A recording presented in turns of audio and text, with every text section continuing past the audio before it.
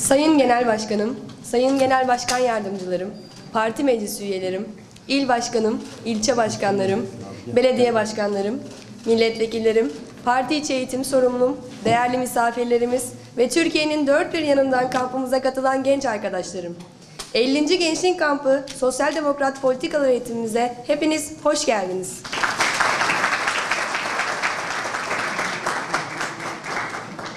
Gençlerin emekleriyle oluşturarak hem birlikte öğrendiği hem de dayanışma ruhuyla birlikteliğini güçlendirdiği gençlik kamplarımızın 50.sini gerçekleştiriyoruz. Kampımızda 5 gün boyunca partimizin politikalarını öğrenecek, üzerinde çalışacak ve Cumhuriyet'in ikinci yüzyılında Cumhuriyet Halk Partisi iktidarı için projeler üreteceğiz. Parti okulumuzun kuruluşundan bu yana özellikle biz gençlerin parti ideolojisini, sosyal demokrat düşünceyi öğrenmemiz için büyük emek veren, gençlik kamplarımızın ilk gününden bugüne kadar yanımızda olan parti içi eğitim sorumlumuz Sayın Aytu Atıcı'yı konuşmalarını yapmak üzere kürsüye davet ediyorum.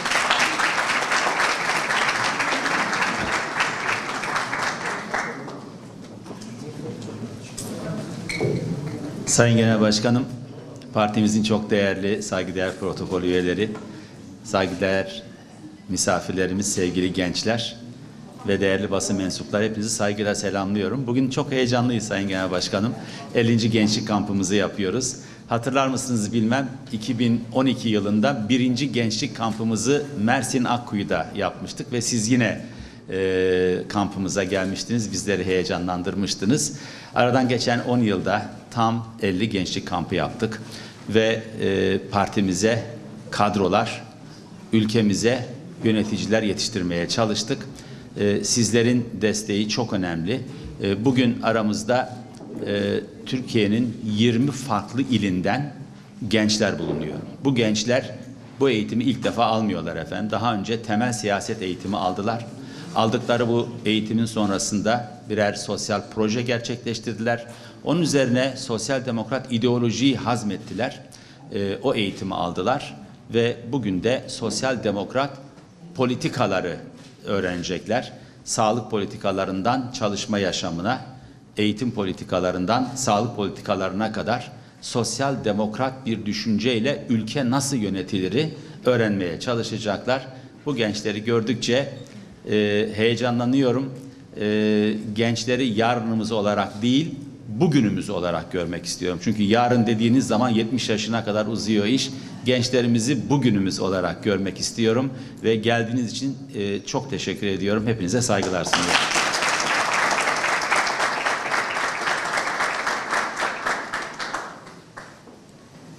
Parti içi eğitim sorumlumuz Sayın Aytu Atıcı'ya konuşmaları için teşekkür ediyorum. Bizler için çok değerli olan 50. Gençlik Kampımıza katılarak parti içi okulu çalışmalarımıza ve biz gençlerin gelişimine her daim büyük destek veren Sayın Genel Başkanımız Kemal Kılıçdaroğlu'nu konuşmalarını yapmak üzere alkışlarınızla sahneye davet ediyorum.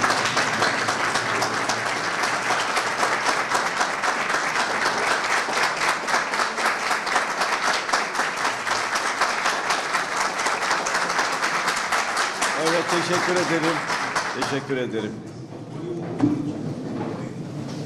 Öncelikle e, Türkiye'nin değişik illerinden gelip sağlıklı bir ortamda, güzel bir ortamda çalışma yapmanızdan son derece mutluyum. Aytu Hoca heyecandan söz etti. Emin olun ben de sizin kadar heyecanlıyım. Gençlerle beraber olmanın güzelliğini biliyorum, iyiliğini biliyorum, umudunu biliyorum. Dolayısıyla ülkenin geleceğini belirleyecek olanlar sizlersiniz. Bunu çok iyi bilmeniz ve çok iyi anlatmanız lazım. Cumhuriyet Halk Partili olmak kolay bir iş değildir. Önce bunu bilmeniz lazım. Cumhuriyet Halk Partili olmak için bilgili olmanız lazım. Birikimli olmanız lazım. Hem Cumhuriyet Halk Partisi'nin hem Türkiye'nin tarihini çok iyi bilmeniz lazım. Alçak gönüllü olmanız lazım. İnsanlara tepeden bakmamanız lazım. Her katmandan insanı büyük bir dikkatle dinlemeniz lazım. Ve çözümleriniz varsa çözümlerinizi sabırla ve iyi bir dille anlatmanız lazım. Tarihi bilmeniz lazım. Şunun için bunu ifade ediyorum.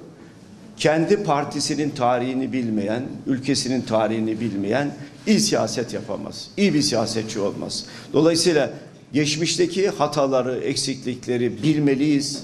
Çünkü geleceği inşa edeceksiniz. Geleceği inşa edenler geçmişten ders çıkarmak zorundadırlar. Bütün hataları görmek, yanlışları görmek, doğruları görmek güzel bir gelecek inşa etmek için şarttır. O nedenle genç hem geçmişi çok iyi bilecek ve bildiği geçmiş üzerine sağlıklı ve tutarlı bir gelecek inşa edecek. Başka bir şey daha var. Gazi Mustafa Kemal'in Türkiye'si, kurduğu Türkiye sıradan bir Türkiye değil. Bu ülke sıradan bir ülke değil. Milli Kurtuluş Savaşı'nı verdikten sonra bizim verdiğimiz Milli Kurtuluş Savaşı bütün mazlum milletlere örnek olan bir milli, milli mücadeledir. Dolayısıyla onun ne kadar önemli olduğunu, Milli Kurtuluş Savaşı'nın ne kadar önemli olduğunu bilmemiz gerekiyor. Bir başka ikinci evresi vardır. Milli Kurtuluş Savaşı'nı verdikten sonra genç Türkiye Cumhuriyeti kuruldu. Ve yine bütün mazlum ülkelerin cumhuriyet kurduklarını görüyoruz. Dolayısıyla biz sadece kendi insanımıza değil, mazlum milletlerin de tarihine örnek olan bir partiyiz. Böyle bir gelenekten geliyoruz. Dünyanın en eski, en köklü partilerinden birisiyiz. Siyasi partilerin tarihine baktığınızda yüzlerce partinin kurulduğunu ama bu partilerin çoğunun bugün hayatta olmadığını görürsünüz. Ama Cumhuriyet Halk Partisi neredeyse 100 yıldır ayakta. Dünyanın en eski, en köklü partilerinden birisidir. Soru şu, 100 yıldır Cumhuriyet Halk Partisi niçin ayakta? Yanıtı da çok basit. Çünkü bu partiyi kuran Gazi Mustafa Kemal Atatürk bize çağdaş uygarlığı yakalama ve onu aşma görevi verdi.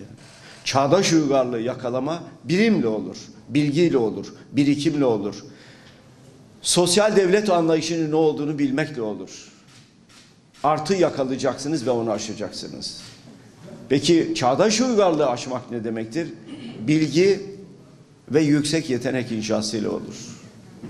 Genç arkadaşlarım, siyasetçiler yüksek yeteneğin ne olduğunu bilmezler. Çoğu zaman. Yüksek yetenek inşasının da ne olduğunu bilmezler. Yüksek yetenek inşası her toplumun yüzde bir buçuk iki üstün zekalardan oluştuğunu bilmenizi isterim. Her toplumun böyle bir artısı vardır. Bütün sorun bu yüzde ikilik ya da yüzde bir buçukluk üstün zekaların iyi bir eğitimden geçilmesi, geçirilmesi ve onların Türkiye'nin büyümesine ve kalkınmasına katkıda bulunmalarını sağlamaktır. Bunu Gazi Mustafa Kemal Atatürk çıkardığı özel bir yasayla bu üstün yetenekli genç evlatlarımızı o dönem yurt dışına gönderdi. Matematikçi, fizikçi, sanatçı her alandan insanları gönderdi ve onlar Türkiye'nin çağdaşlaşmasına, üniversitelerde bilgi birikiminin oluşmasına büyük katkılar verdiler. Şimdi dünyada ülkeler arasında yüksek yetenek inşası kavgası vardır. İlk bunu keşfeden ve en sağlıklı şekilde uygulayan İngiltere'dir. Dünyanın her tarafından en yetkin gençleri getirdi ve o insanlar sanayi devrimini başlattılar. Silikon Vadisi ile Amerika bu yetkiyi almak istedi. Ve Silikon Vadisi'nde yine dünyanın her tarafından en yetenekler oraya geldi, gençler oraya geldi. Ve yeni bir dünyayı inşa ettiler teknolojideki devrimle beraber. 4.0 dediğimiz, sanayi 4.0 dediğimiz olay budur zaten. Biri birileriyle konuşan makineler, yapay zeka. Sizler bu alanları bizden çok daha iyi bilmek, öğrenmek zorundasınız. Eğer Türkiye'nin büyümesine, kalkınmasına katkıda bulunacaksınız. Dolayısıyla Cumhuriyet Halk Partili genç olmak demek, bütün bunları iyi bilmek demektir. Eğer İngiltere'de yapay zeka 60 yıldır tartışılıyorsa bir sivil toplum örgütünde ve biz bunu yeni yeni tartışıyorsak bu büyük ölçüde siyaset kurumunun dünyadaki gelişmelere gözünü kapatmasından kaynaklanmaktadır. O açıdan Cumhuriyet Halk Partili olmak, hele Cumhuriyet Halk Partili genç olmak sıradan bir olay değildir. Tarihin size yüklediği ciddi bir sorumluluk var. Bugün Çin'le Amerika arasındaki yarışın yüksek yetenek inşası yarışı olduğunu sakın unutmayın. Ve bizler en zeki çocuklarımızı kaybediyoruz. Onlar geleceklerini yurt dışında arıyorlar. Demokrasi olmadığı için, özgürlük olmadığı için, özgürlüğün ve demokrasinin olmadığı bir yerde ekonomik büyümeyi de, sosyal büyümeyi de, bilimde gelişmeyi de asla sağlayamazsınız. Farklı düşünmek kadar değerli bir şeyin olduğunu asla unutmayın.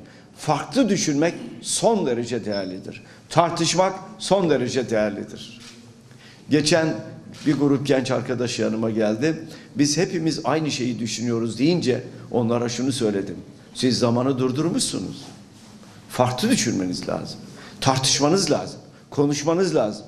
Yeni bir gelecek ufku belirlemeniz lazım. O zaman siz Türkiye'yi büyütürsünüz ve dünyayı sorgularsınız diye. Dolayısıyla hayatı durdurmak değil, hayatı geliştirmek, büyütmek hepinizin ortak görevi. Bunu yapmak zorundasınız.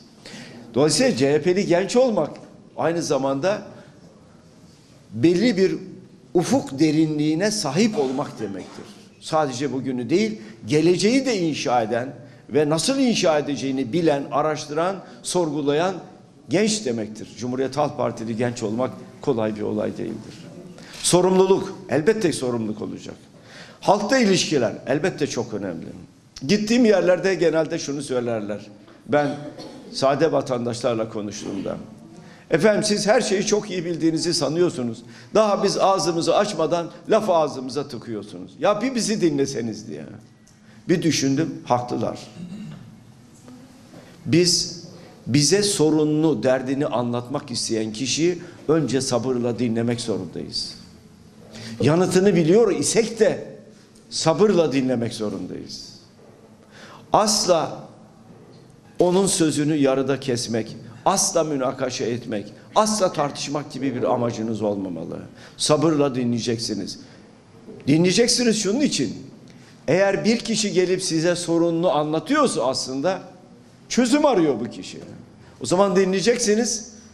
Ağzınızdan çıkacak ilk sözcük dinledikten sonra haklısın olmalı. Haklısın. Ama bir de beni dinleyebilir misin? Ve sizi dinleyecektir. Çünkü siz ona konuşurken hatta sizi eleştirirken siz haksız, haklısınız dediniz. Eleştiriden korkmamak lazım. Çekinmemek lazım. Eleştirinin çok değerli bir yöntem olduğunu da bilmeniz lazım. İnsanlar sizi eleştirebilirler. Belki haklı belki haksız. Ama sabırla dinlemesini bileceksiniz. Kavgadan uzak duracaksınız. O nedenle Cumhuriyet Halk Partili genç olmak sıradan bir olay değildir. Burada değişik hocalarımız, daha doğrusu, daha doğrusu hocalarımız diyelim geliyorlar. Güzel şeyleri anlatıyorlar size. Ee, belki e, politikada geçmişte yaşadıkları anılarını sizlerle paylaşıyorlar. Keyifli anılar da var. Ben de onların bir kısmını zaman zaman dinlerim. Gerçekten güzel. Çünkü hayatın güzelliği e, tabi biraz da espriye bağlıdır. Şaka etmeyi, espri yapmayı sakın unutmayın. Güler yüzlü olmayı sakın unutmayın. Ve asla ve asla karamsar olmayın. Asla ve asla. Umutsuzluk bizim kitabımızda yazmaz. Milli Kurtuluş Savaşı en zor koşullarda verilmiştir ve hiç kimse umutsuzluğa kapılmamıştır. O nedenle efendim baskı var, tweet bile atamıyoruz, çok karamsar bir ortam var, umutsuzluğa kapıldım. Herkes kapılabilir ama Cumhuriyet Halk Partili gençlerin umutsuzluğa kapılma hakları ve yetkileri yoktur. Siz umudu büyüten kişilersiniz. Umudu büyütmek zorundasınız. Çünkü sizler geleceği inşa etmek için yola çıkan kişilersiniz. Cumhuriyet Halk Partililerin her birisinin tek tek görevi sağlıklı ve tutarlı bir geleceği inşa etmektir. Siz geleceği inşa edeceksiniz. Geleceği nasıl inşa edeceğiz? Demokratik yollarla geleceği inşa edeceğiz. Demokrasiden asla ve asla ödün vermeyeceğiz. Baskı kurabilirler ama unutmayın sabırla, umutla, sağlıklı ve tutarlı adımlarla güzel bir geleceği hep beraber inşa edebiliriz. Önümüzde seçimler olacak. Bir, sakın ola ki Ya sandığa gitmesek de olur. Bugün biraz işlerim vardır. Asla demeyeceğiz. Asla. Demeyeceğiz, dedirtmeyeceğiz de.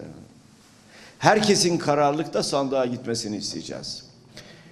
Yanlış hatırlamıyorsam 6-6,5 milyon genç ilk kez sandığa gidip oy kullanacak. Olağanüstü bir şey.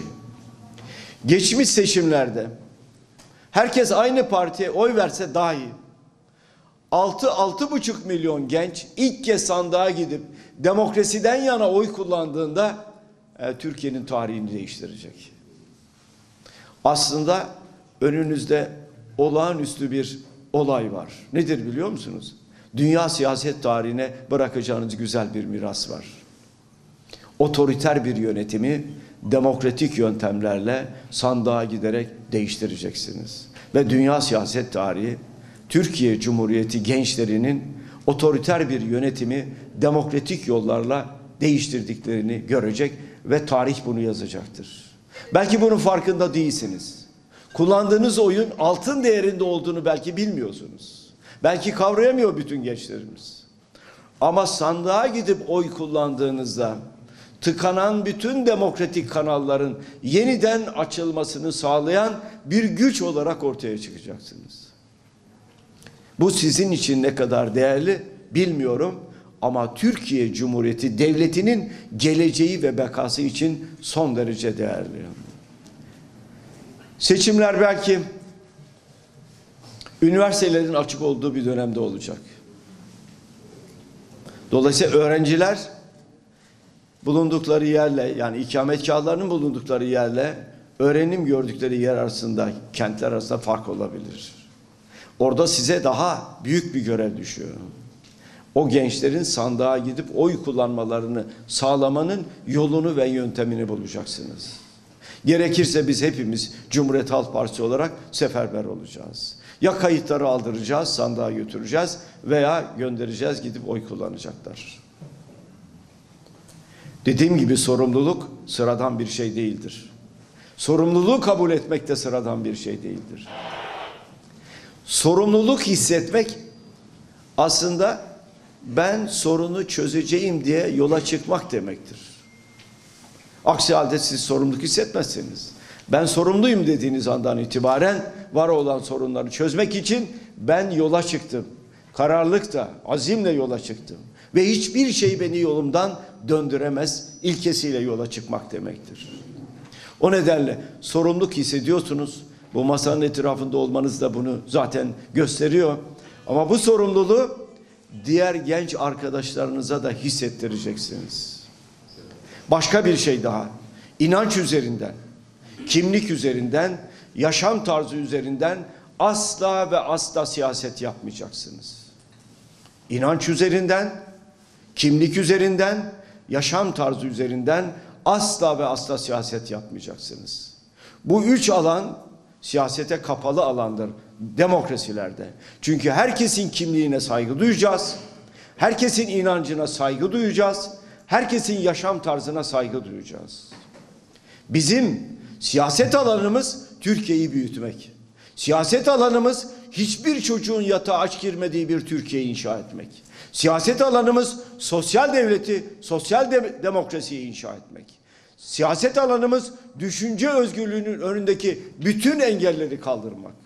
Siyaset alanımız hapishanelerde haksız yere çürüyen insanların özgürlüğünü sağlamak için yola çıkmak. Siyaset alanımız demokrasiyi yeniden inşa etmek. Siyaset alanımız devlette liyakati sağlamak. Siyaset alanımız yargının bağımsız olmasını sağlamak. Yani yargıcın hukukun üstünlüğü ve vicdani kanaatine göre karar vermesini sağlamak. Anayasa öyle der. Hakim kanunlara göre değil, hukukun üstünlüğü ve vicdani kanaatine göre karar verir diyor. Dolayısıyla siyaset alanımız dar bir alana, toplumu ayrıştıran, bölen bir alana hapsedilemez. Şundan da emin olmanızı isterim. Dünyanın gittiği yol sosyal demokrasidir. Kim ne derse desin. Devletin demokrat olması ve devletin sosyal olması. Sosyal devletin ne olduğunu da çok iyi bilmeniz lazım. Sosyal devlet fakirin fukaranın yanında olan devlet demektir.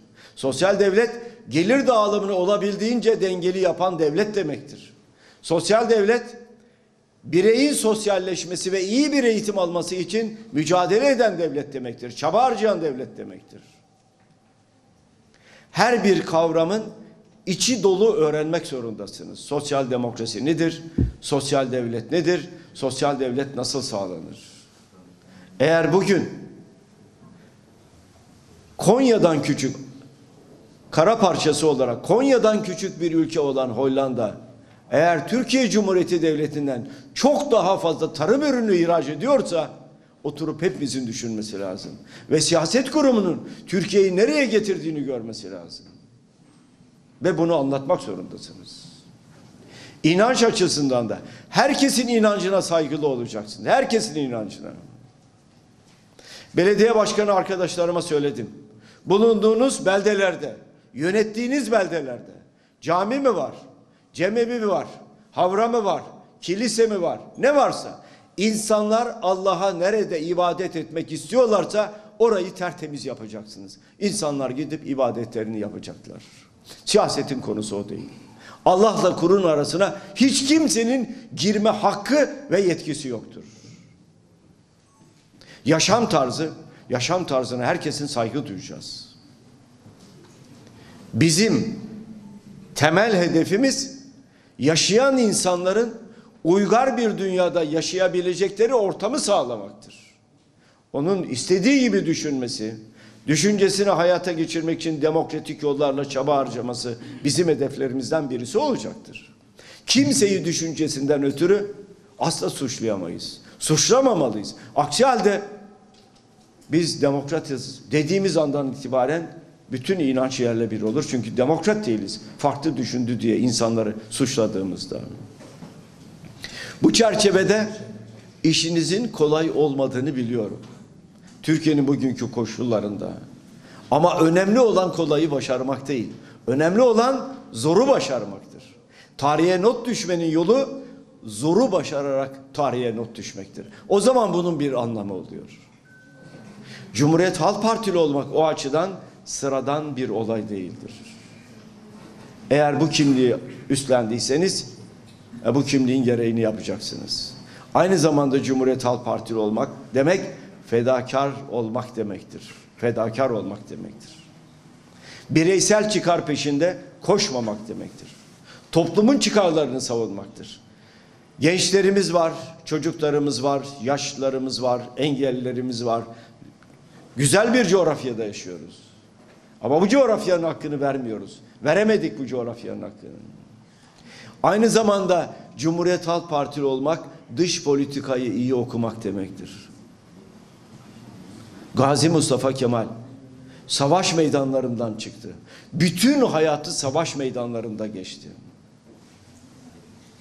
Ama barışın ne kadar değerli olduğunu ona savaşlar öğretti. Çünkü savaşta bütün acıları gördü orada. Gözyaşını gördü orada. O nedenle yurtta barış, dünyada barış dedi. Çünkü barış kadar değerli bir şey yok. Bu kavramın içini boşaltmayacağız. Tam tersine bu kavramın içini tarihsel birikimimizle beraber dolduracağız. Barış ne kadar güzel bir sözcük. Çocuklarımıza barış ismini veriyoruz. Kavgadan uzak ama ortak düşünerek, tartışarak yeni şeyler inşa etmek. Ancak barış ortamında olabiliyor. Bütün bunların hepsi. O açıdan dediğim gibi hepinizin tarihi görevi var. Çalışacaksınız. Düşünce üreteceksiniz, paylaşacaksınız ve güzel şeyler olacak Türkiye'de. Buna yürekten inanıyorum. Sonucu belirleyecek olan sizsiniz. Demokratik standartları belirleyecek olan sizsiniz. Bizler bunun tepede çalışmalarını yapıyoruz. Altı lider bir aradayız. Birlikte demokrasiyi inşa etmek için mücadele ediyoruz. Ee, bu mücadelemiz elbette ki Türkiye'nin güzelliği için, sizler için, e, evlatlarımız için, daha güzel bir Türkiye için bunun mücadelesini veriyoruz. Son söz sakın umutsuzluğa kapılmayın. Böyle bir şey benim kitabımda yok, sizin de kitabınızda yok. Ve şunu ben her yerde söyledim, yine söylüyorum. Sizin hayalleriniz bizim hedefimiz olacak. Hayal kurmayı sakın unutmayın. İnsan hayal ettiği müddetçe yaşar. Şair öyle diyor ya. Hayal kadar değerli bir şey yoktur. Eğitimin temel felsefesi güzel bir gelecek inşa etme, etmek açısından hayal kurmaktır. Merak duygusunu büyütmektir. Merak duygusunu büyütmeyen bir eğitim eğitim değildir aslında. Ezberci bir eğitimdir. Merak duygusunu büyüttüğünüz zaman o zaman o eğitimin ne kadar başarılı olduğunu göreceksiniz. Yeni şeyler, yeni meraklar, yeni icatlar çıkaracaktır. Ama ne diyorlar? Birileri ya şimdi de yeni icat çıkarma diyorlar. Tam tersine her birimiz, her biriniz yeni icatlar peşinde olun. Yeni hayaller peşinde olun. O hayalleri gerçekleştirmek de elbette hepimizin ortak görevi olmalı. Ee, hocam biraz uzun oldu galiba. Neyse e, tabii politikacıya söz verirseniz bunlar da genç politikacılar uzun uzun oldu. Ee, size yürekten başarılar diliyorum. Çalışın, üretin, asla ve asla e, tartışın kendi aranızda kavgadan uzak ama Türkiye'yi yeniden inşa etme konusunda çaba harcayın. Önümüzdeki yüzyıl, Cumhuriyet'in yüzyılını bitirdik. Cumhuriyet'in ikinci yüzyılı. Biz Cumhuriyet'in ikinci yüzyılında ikinci yüzyıla çağrı beyannamesini yayınladık. İkinci yüzyıla çağrı beyannamesi bizim siyaset tarihimizin yani Türkiye siyaset tarihinin çok ama çok önemli bir belgesidir. Bir yüzyılda ne oldu? Önümüzdeki yüzyılda ne yapacağız? Temel felsefe oradadır. Bütün politikanızı o temel felsefe üzerine inşa edeceksiniz. Orada demokrasi var, orada bilim var, orada toplumsal barış var. Orada Orta Doğu Barış ve İşbirliği Teşkilatı var. Orta Doğu'da kanın akmamasının yolu yöntemi var. Bütün bunların tamamı önümüzdeki yüzyılda hedeflediğimiz temel kurallar. Düşünün bir parti bir yüzyılın hesabını yapıyor ama ikinci yüzyıla hazırlık yapıyor. Bunu bizim dışımızda yapan başka bir siyasal parti de yok. Çünkü bizim tarihsel birikimimiz bir sonraki yüzyıla hazırlık yapmamız kadar bize bilgi veriyor. Dolayısıyla biz bu bilgiden, bu artıdan, bu tarihsel birikimden yararlanıp ya- yararlanıp ikinci yüzyıla çağrı beyannamesini hazırladık. Onu da çok iyi öğrenmeniz lazım. Hepinize başarılar diliyorum. Hepiniz e, bu ülkenin gerçekten altın kadar değerli varlıklarısınız. E, sizin umudu büyüttüğünüz süre içinde e, bizler de çabalarımızı daha güçlü bir şekilde yerine getireceğiz ve çalışacağız. Teşekkür ederim. Sağ olun.